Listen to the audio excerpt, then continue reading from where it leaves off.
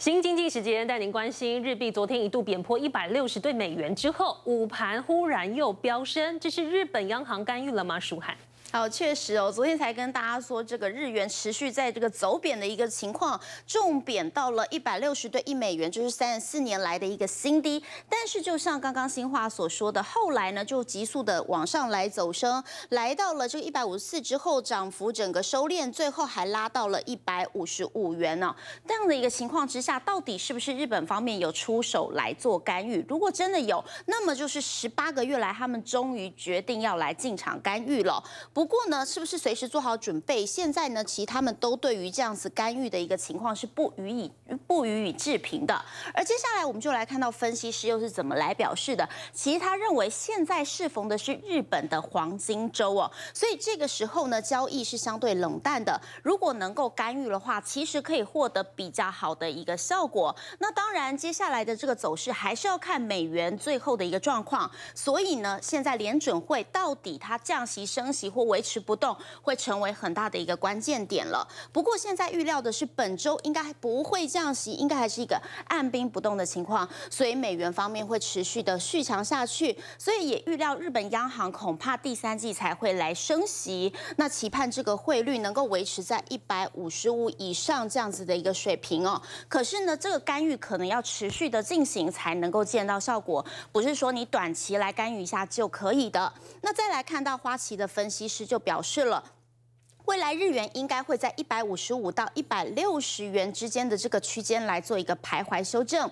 那么市场也很关注说，这个日币走贬的情势会不会造成的是亚币净贬的一个情形？不过我们看到，其实日元哦，现在呢虽然说到底有没有干预不知道，不过呢它其实是已经有慢慢的回升在一百五十五这样的一个价位嘛。那所以亚币应该也会回稳的，出口商也积极来抛汇。我们来看到新台币的表现是怎么样呢？其实是有回升的，所以在昨天呢，其实是升的，走在这个三十二点五五八元的一个价位。今天也是走升了，走升了一点六分，最后收在的是三十二点五四二。那关于呢这个日币持续走贬，其实也带来了一些影响，像是日本人现在不太敢出国了。而台湾的股市房市欣欣向荣，但传出了主计处发现贫富差距更大了吗？舒海。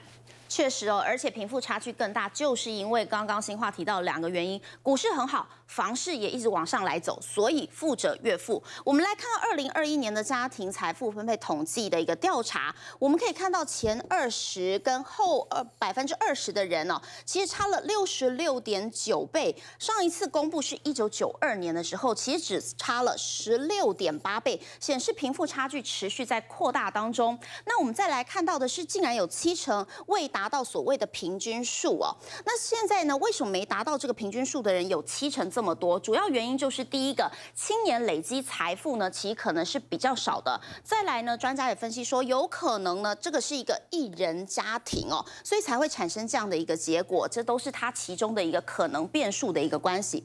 那我们就来看到呢，这个国事普查处的处长就表示，你拿这个一九九二年来跟我们最近公布的这个来相比，其实是不合理的，因为调查方法已经。不太一样了，所以要看一下其他国的一个贫富差距。可以看到呢，其实其他他国的一个贫富差距，像韩国来到一百四十点一倍。其实呢，相较之下，台湾的这个财富分配还算是一个比较平均的。他也强调哦，这个财富呢高度的集中呢，这是因为高度自由还有发展经济国家最后必然的一个情况。所以也请大家不要过度的解读了。而现在企业关注的就是碳费的议题了，传出还带动了台股的造纸族群吗？舒涵。确实，我们来看到这样子的一个环境的环境部的预告的这样一个执法，到底会不会上路哦？我们就来看到相关的三个执法预告哦。年排放量二点五万公吨以上，大约五百家的电力制造业厂商都应该会被纳入。那我们来看到呢，这个根据二零二二年的资料来出推估哦，他们这五百厂呢占了台湾的总排放量百分之五十四。那现在也预计会分阶段来去做一个调降哦，预估二零三零年的门槛呢是。一万公吨，目前影响的产业还没办法估算。那再来看到的就是呢，现在计算方式，第一个就是不提自主减量计划，就采取一般费率。如果你提出符合目标计划，会有这个优惠的费率。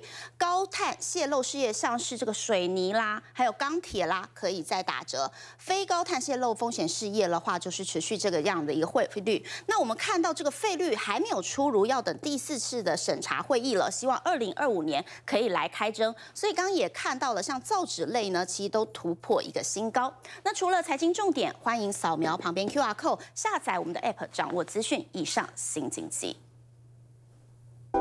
想看最完整的新闻内容，记得下载 TVBS 新闻网 APP。